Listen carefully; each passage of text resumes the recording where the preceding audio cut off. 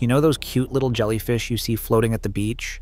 The translucent ones that just vibe near the surface? Well, the deeper you go in the ocean, the more those things turn into nightmare fuel. I am talking about jellyfish that look like they crawled out of a horror movie and decided the Midnight Zone was a good place to set up shop.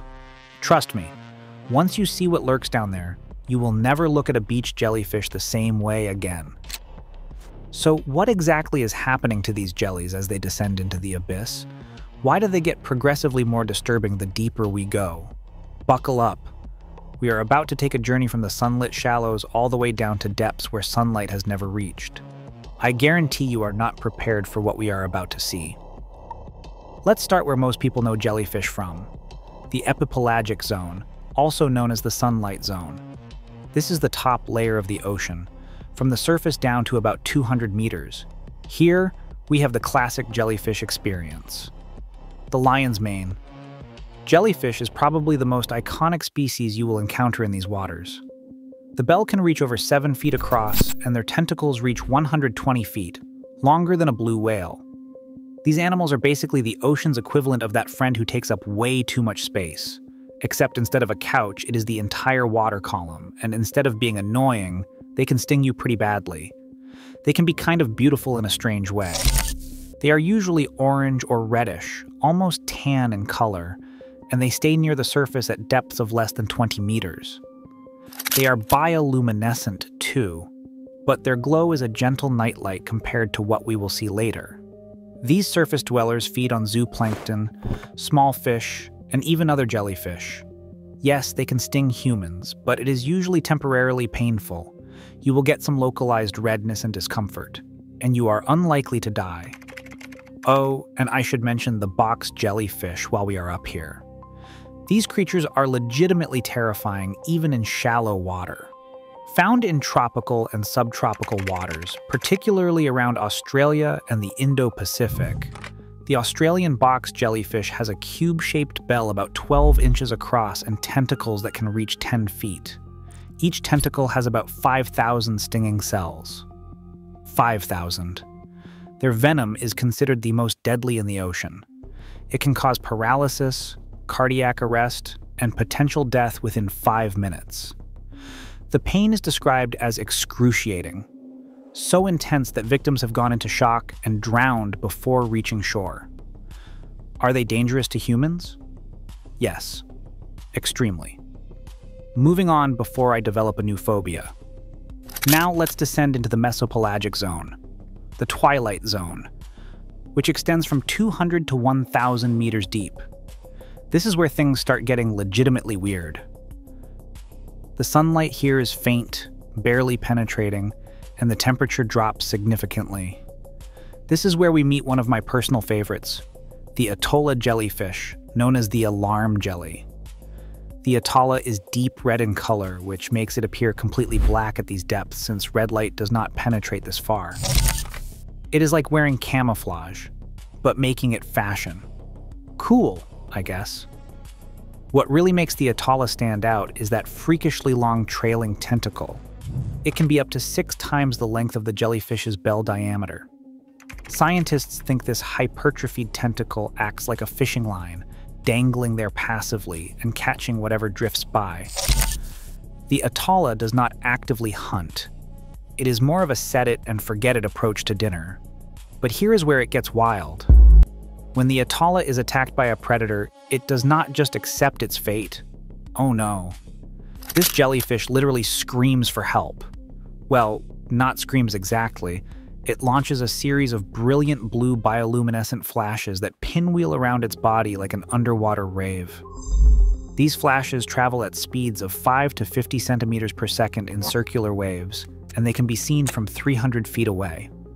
The purpose is simple it is trying to attract an even bigger predator that might eat whatever is currently trying to eat it.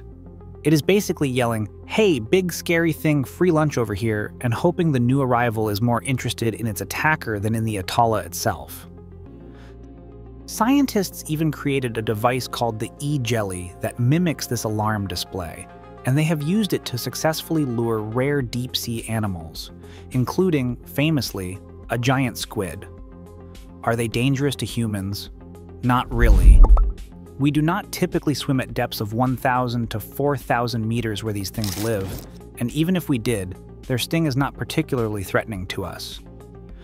Now we are dropping into the bathypelagic zone, the midnight zone. From 1,000 to 4,000 meters, it is called the midnight zone because it is pitch black. No sunlight reaches here at all. The pressure is crushing. We are talking 5,800 pounds per square inch. And yet, life persists. Weird, creepy, beautiful life. This is home to the giant phantom jelly, Stygiomedusa gigantea, and holy hell is this thing impressive. The bell of this deep sea nightmare can be over three feet wide, but that is not even the scary part. It has four ribbon like arms that can grow to over 33 feet long. 33 feet. That is about as long as a telephone pole. These are not tentacles, they are more like billowing curtains of death that trail behind the jellyfish as it moves. And unlike most jellies that use stinging cells to catch prey, the giant phantom jelly uses these arms to wrap up and trap its victims, hoisting them up to its mouth like some kind of gelatinous crane. The first specimen was collected in 1899, but scientists did not recognize it as a new species until 1959. And even now, it is incredibly rare. The Monterey Bay Aquarium Research Institute has completed thousands of dives, but has only encountered this species nine times. Nine times in decades of exploration, it has been spotted fewer than 120 times total since its discovery. Why so rare? Well, it typically lives at depths of up to 22,000 feet. That is over four miles down. The water pressure at that depth is absolutely insane. But the giant phantom jelly's gelatinous body just absorbs it like it is no big deal. When there is light, the giant phantom jelly appears a faded reddish orange color but at the depths where it normally lives, red light cannot penetrate, so it is basically invisible. It is like the ultimate stealth predator. Scientists believe it may emit faint bioluminescence, possibly to communicate or confuse predators, but we are honestly not sure. Are they dangerous to humans? Technically, no, since they do not have those classic stinging tentacles but I am not exactly volunteering to swim next to a 33 foot long ribbon monster in the pitch black abyss. Oh, and here is a weird bonus fact. The giant phantom jelly is one of the few jellyfish species that gives birth to live young. The babies develop inside the mother and then detach from inside her bell and swim out of her mouth. Out of her mouth. Nature is wild. But wait, it gets weirder. Let's talk about the abyssal comb jelly, Beroe abyssicola. Now, technically, this is not a true jellyfish. It is a ctenophore, or comb jelly, but it is close enough. And it is absolutely worth mentioning because of how creepy this thing's adaptation is. This predator is pretty pink in color, which might sound cute until you realize why. In the midnight zone where most animals can produce bioluminescence, having a glowing gut full of bioluminescent prey is basically painting a target on your back. Any larger predator would see you lit up like a Christmas tree. So the abyssal comb jelly evolved crimson-colored stomach tissues that absorb the light produced by its bioluminescent prey. It is like having built-in blackout curtains for your digestive system. The pink color acts as camouflage in the deep dark waters, keeping the jelly hidden. Even when it's just eaten something that glows, that's simultaneously genius and horrifying. Now let's go even deeper. We're talking about depths beyond 4,000 meters now, into territories that most marine biologists have barely explored. This is where we find Siphonophores. And oh man, oh, these things are a trip. Technically, they are not jellyfish either. They are colonial organisms made up of thousands of tiny specialized individuals called zooids, all working together but they look like jellyfish on steroids, so let's talk about them. The giant siphonophore, Praia dubia, can reach lengths of over 130 feet. That's longer than a blue whale, longer than any dinosaur that ever lived. It is one of the longest animals on the planet. Period. These things are basically living strings of nightmare fuel floating through the abyss. Each part of the colony has a specific job. Some parts swim, some feed, some reproduce, some defend, They are like a bizarre underwater assembly line, except the entire assembly line is also alive and can sting you. And then there is the genus Erenna. Deep sea siphonophores is found at depths between 1,600 and 2,300 meters. These creatures have evolved red bioluminescent lures that look and move exactly like small copepods. They are literally using glowing false prey to attract fish, making them twitch and dart through the water like swimming copepods. It is sophisticated enough that it fools fish into swimming right into their stinging tentacles. That is not just survival, that is tactical deception on a level that would impress a military strategist. You might be wondering, why are deep sea jellyfish so much more elaborate and bizarre than their shallow water cousins? Well, it comes down to the environment.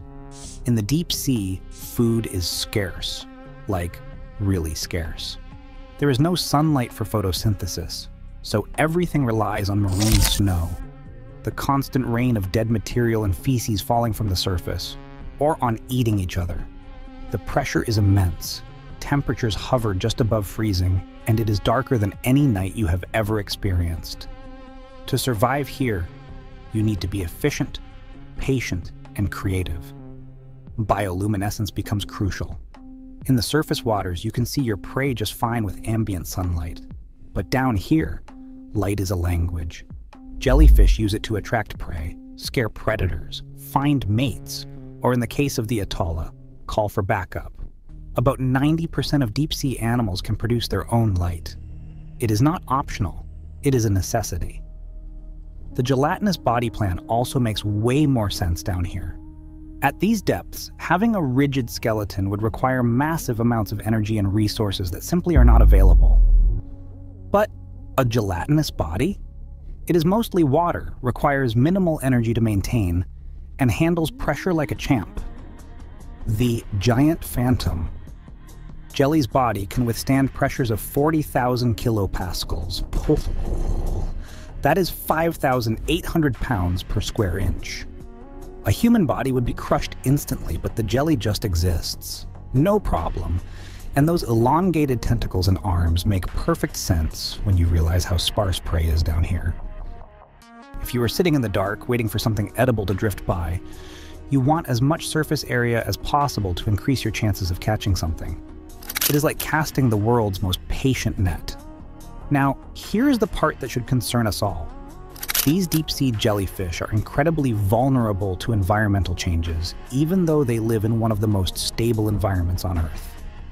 Climate change is causing ocean temperatures to rise and oxygen levels to drop, even in the deep sea. We are also polluting these depths with microplastics and disturbing them with deep sea mining operations. And here's the thing we barely know anything about these creatures.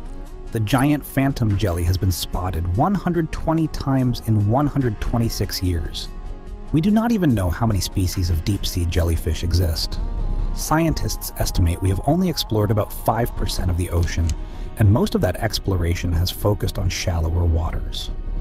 Think about it this way the Monterey Bay Aquarium Research Institute, one of the world's leading deep sea research organizations, has conducted thousands of dives over decades, and they have only seen certain species a handful of times. The Stygiomedusa gigantea? Nine sightings. That's it. We know more about the surface of Mars than we do about the deep ocean on our own planet, and we are already impacting these ecosystems before we even fully understand them. But here is what really gets me. These jellyfish are not just weird curiosities, they are vital parts of deep sea food webs. The Atolla is one of the main predators on deep sea shrimp. The giant phantom jelly competes with squids and even whales for prey. Siphonophores like Nanomia bijuga are primary predators of krill. They are not just living down there in isolation, they are integral to the functioning of the largest ecosystem on Earth. And some of these jellies have symbiotic relationships we are only beginning to understand. Small fish called Thalassobathia pelagica actually shelter inside the giant phantom jelly's billowing arms, using it for protection. In return, the fish removes parasites from the jelly. They will even find each other again if separated, using specialized sensory organs to detect the low frequency movements of the jelly's bell. That is not just random association. That is a genuine partnership in one of the harshest environments imaginable. If you have ever played Subnautica, you know that sinking feeling when you leave the safe shallows and enter the deeper, darker biomes. That moment when the water turns inky and you start encountering things that look nothing like the fish you are used to. That is not just game design, that is based on reality. The progression from normal to utterly alien is real, and it happens over the course of just a few thousand meters of descent.